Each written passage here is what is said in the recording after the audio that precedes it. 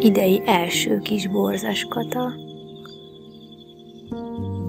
Nagyon szép vagy, és itt nő melletted a párod. Na sziasztok, köszöntelek benneteket egy új videóban.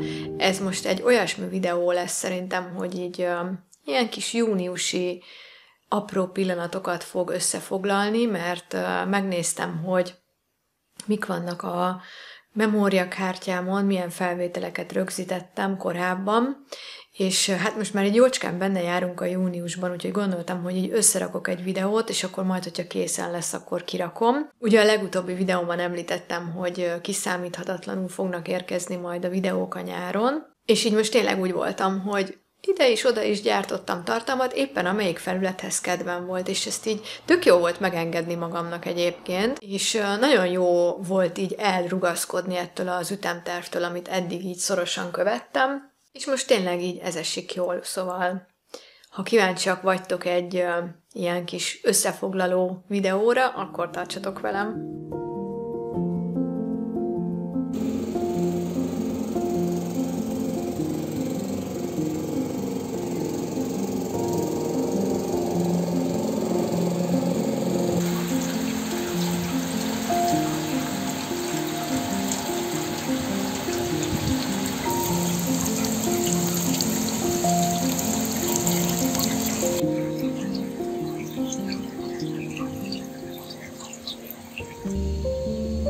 Újabb 2021.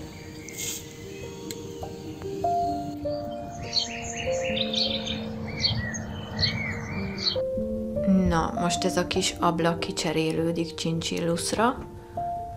És nézzétek meg, ilyen tök jól volt rögzítve a függöny.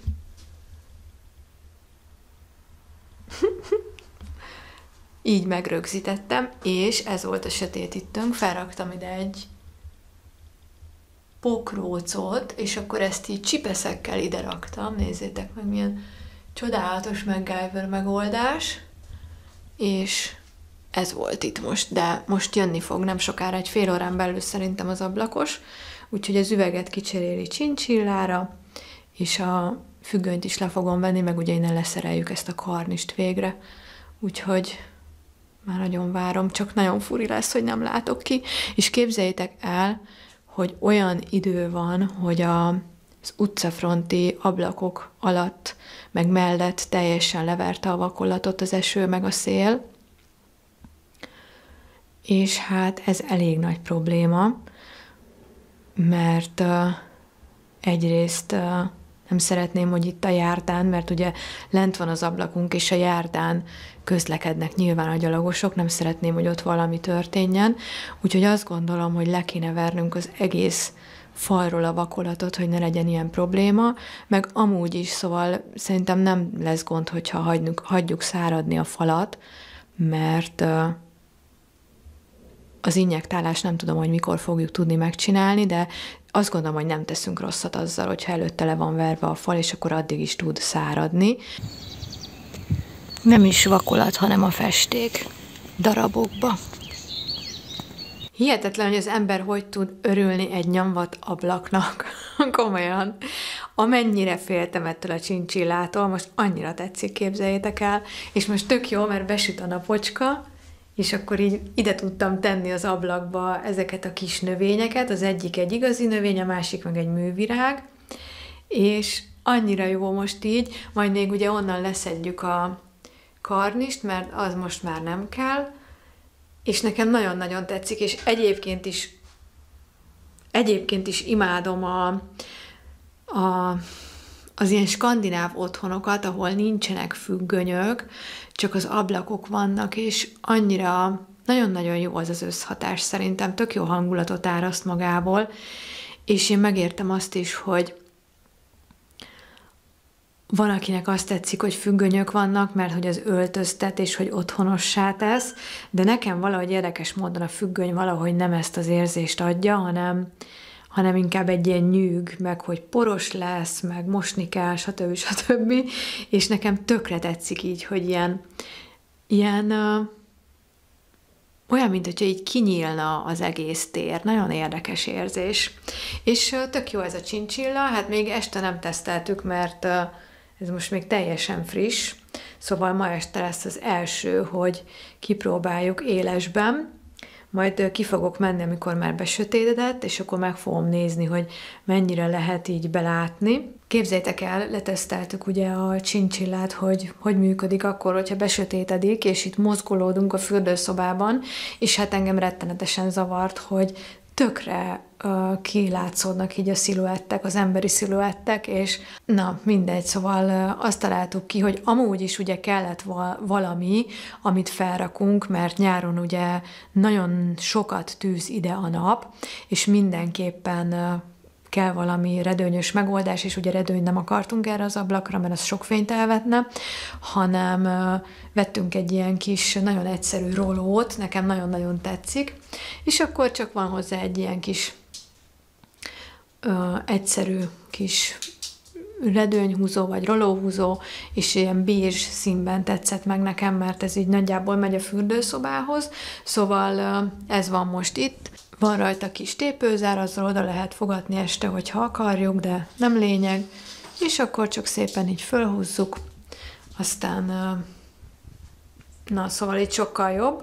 A karnist levettük, most oda raktam át a képet, ami a nappaliban volt, de nem tetszik annyira, szóval lehet, hogy majd valami mást fogok ide rakni. Aztán majd, ahogy elkezdjük a festést, akkor ez is, ezek a lukak is be lesznek tömve, meg lettelés, meg stb. tudjátok.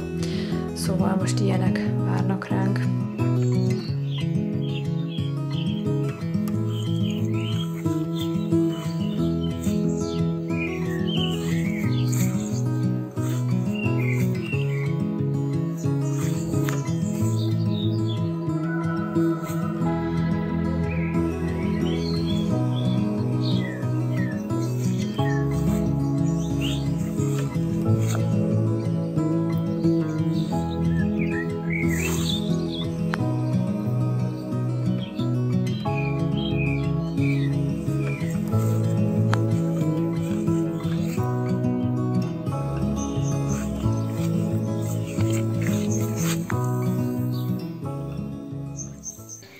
Jól emlékszem, abesszín kardvirág.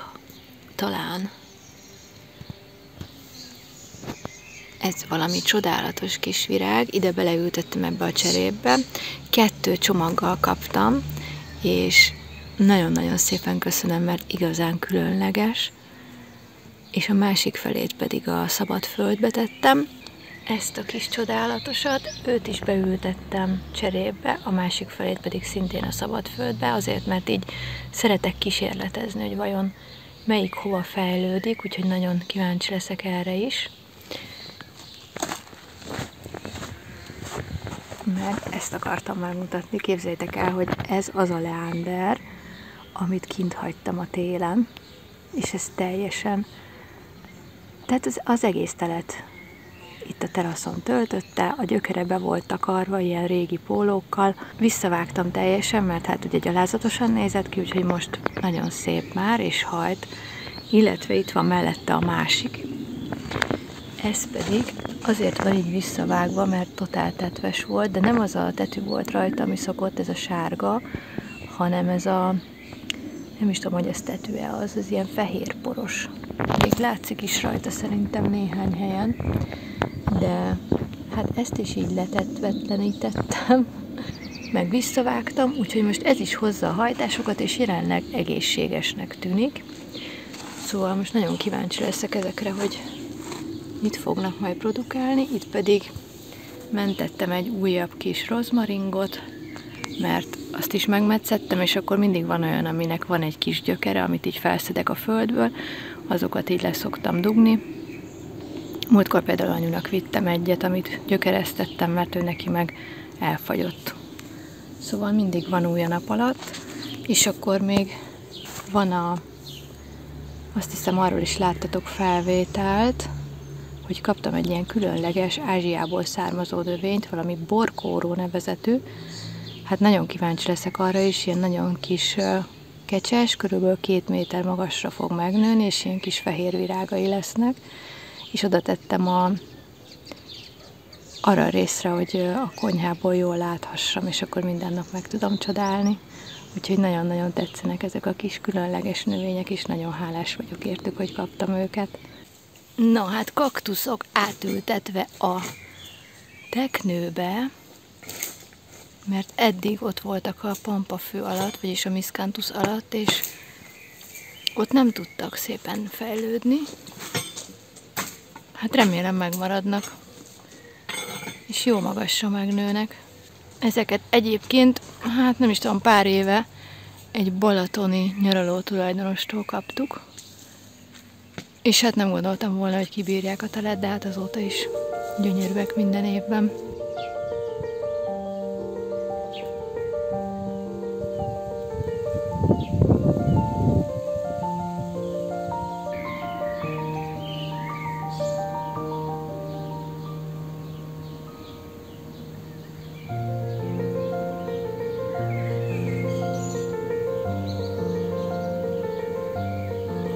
Két percre megyek el, és te elfoglalod a helyem.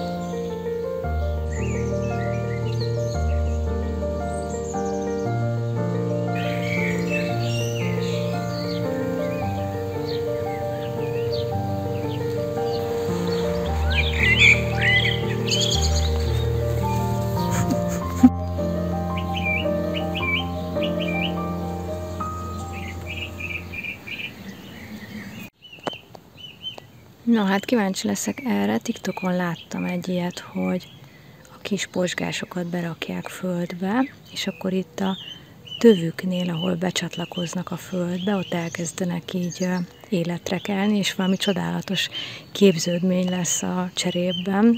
Szinte ilyen, nem tudom, ilyen művészi alkotás.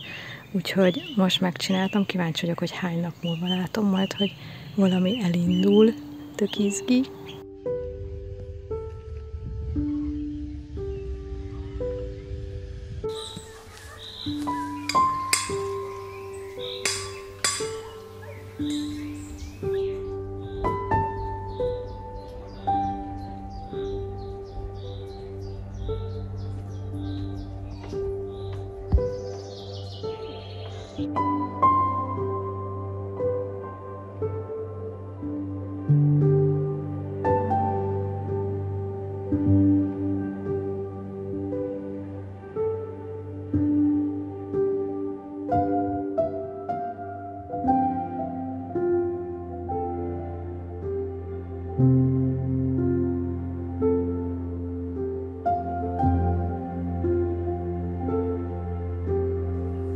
Színe van.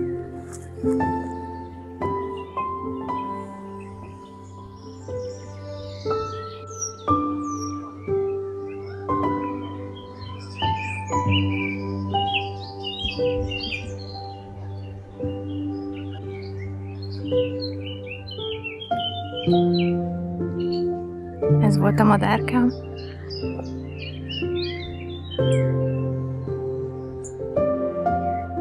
Megmutatom, most leszettem a mai málna adagot, és úgy szoktam leszedni, hogy így mindig beáztatom egy kicsit, hogyha valami esetleg még ki akar jönni belőle, akkor a víz előhozza, mert a múltkor is egy fülbemászó nagyon sokára bújt elő, és hát nem szeretnék ilyeneket elfogyasztani. Most ez egy ilyen adag zapkásához, vagy hát egy zapkására való adag, de annyira jó dolog egyébként, hogy tényleg így a saját kis gyümölcsünket tudjuk enni, és hogy ezt tudjuk az apkására tenni, szóval annyira jó ez a nyári időszak, imádom, hogy tényleg csak kimegyek a kertbe, és akkor tudok szedni málnát, mindent, amit, amit akarok. De most éppen leginkább málnát. Aztán most már hamarosan majd lesz szeder is, aminek nagyon örülök, mert tavaly még nem volt, de idén már lesz. Oké, okay, akkor most tök komolyan, mit szoktatok akkor csinálni, amikor ott kín esik az eső, de tudjátok, hogy szeretnétek, hogy meglegyen a tízezer lépésetek egy nap. Hát most itt ki fogok fehéredni valószínűleg a fény miatt, mert éppen, várjatok, lejjebb rakom, hogy hát ha nem, mert éppen kettő percre elállt az eső, de lehet, hogy két perc múlva újra esni fog, szóval rohadt idegesítő, hogy így, így nem, semmit nem lehet csinálni ott kint, tiszta víz minden, és ugye hát engem rettenetesen szokott ilyenkor frusztrálni, hogy na jó, de most akkor nincs meg a tízezer lépésem. És akkor ilyenkor én ezt szoktam csinálni, hogy uh, járkálok a lakásban. Ami lehet, hogy ilyen nagyon fura dolognak tűnik, de hát én szeretem az ilyen dolgokat, ugye ismertek, és nem nagyon érdekel, hogy, hogy ezt valaki ilyen dillóságnak tartja, vagy nem tudom, furának. Szóval én nekem sokkal fontosabb az, hogy meglegyen ez a tízezer lépés, és hát most így tudom, így tudom lelépni ezt a tízezret, hogy, hogy itt bent. És hát vannak ilyen napok, igen, amikor uh, Persze azt is lehet csinálni, hogy ugye ilyenkor az ember felpattan a szobabiciklire, vagy csinál egy itthoni tornát, de nem mindig van ahhoz kedvem, ahhoz viszont, hogy sétáljak, menjek, ahhoz mindig van, mégpedig azért, mert az valahogy mindig annyira feltölt, és mindig akkor jönnek a gondolatok, az olyan gondolatok, amik ilyen teremtő gondolatok, tudjátok. Szóval írjátok meg, kíváncsi vagyok, hogy ti szoktatok-e ilyet csinálni, hogy csak úgy járkáltok. Egyébként nem mintha bárkit is érdekelne, de lemértem, hogy száz lépés, száz lépés a lakás egyik pontjából a másikba eljutni. Nagyon-nagyon érdekes és fontos, hasznos információ ez. De nekem igen, mert hogyha esetleg nem veszem fel az órámat, akkor tudom körülbelül, hogy hol tartok. De mindegy, most folytatom, mert most tartok 4258-nál, hát az még nem túl sok, de hát majd igyekszem, igyekszem behozni.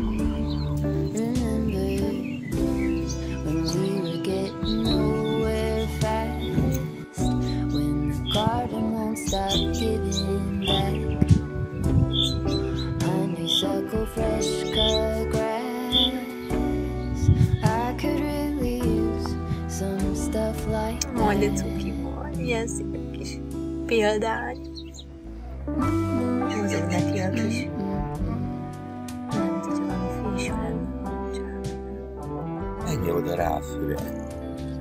Azt mondja, hogy biztos szereted, hogy ügyelek hátra, nem hiszem. Na, gyere össze, úgy.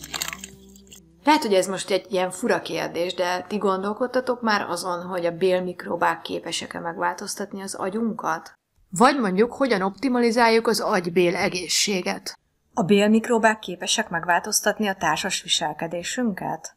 Hogyan tudjuk enyhíteni a szorongásainkat, a hangulatingadozásainkat, a fáradtságot, a depressziót, hogyan tudjuk javítani a környezetünket, hogyan tudjuk javítani a közérzetünket, hogyha ismerjük a bél-agy kapcsolatot. Szóval ezekre a kérdésekre kaphattok választ, hogyha elolvassátok ezt a könyvet. Ez a Bél-agy kapcsolat című könyv, egy nagyon-nagyon érdekes olvasmány.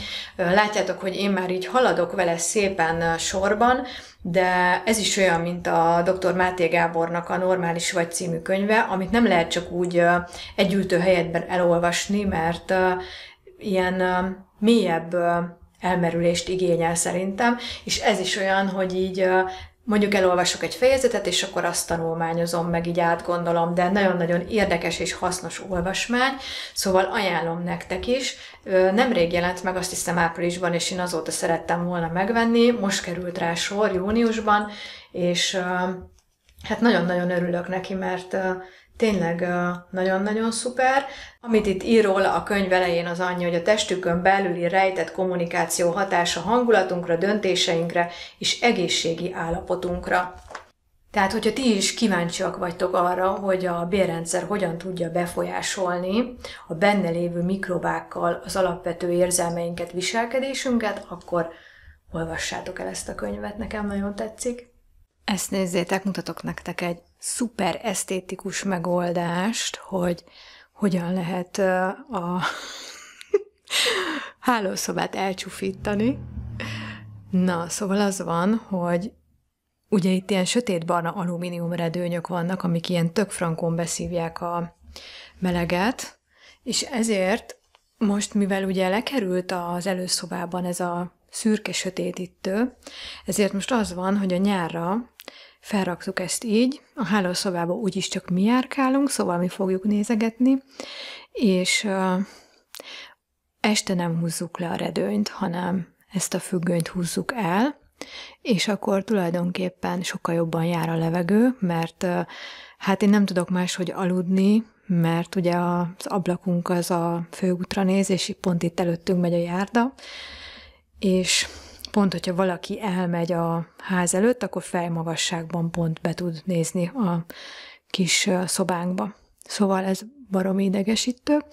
Mindegy, most nem is ez a lényeg, hanem az, hogy ugye itt ilyen földigérő függöny van, most pedig lett egy ilyen csodálatos megoldás, de egyébként már most éjjel is sokkal jobb volt aludni, mert sokkal jobban átszellőzött a szoba. Szóval most a nyáron ez így lesz, és akkor majd, amikor itt is ki lesznek cserélve az ablakok, mert itt vannak már csak egyedül régi ablakok, akkor gondolkodok el majd a, a függöny megoldáson, hogy hogyan, hogyan is szeretném itt a függönyt, mert tényleg tök szép ez a földigérő függöny, de én valahogy nem szeretem. Szóval így néz most ki.